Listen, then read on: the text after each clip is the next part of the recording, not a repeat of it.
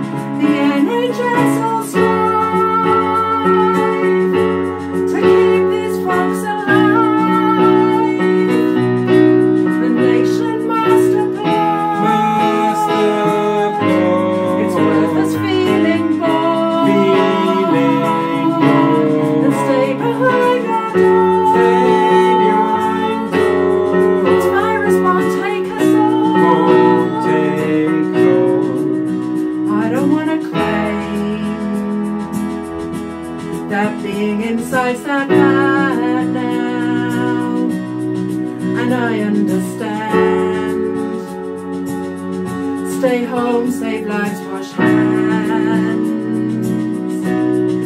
I apologize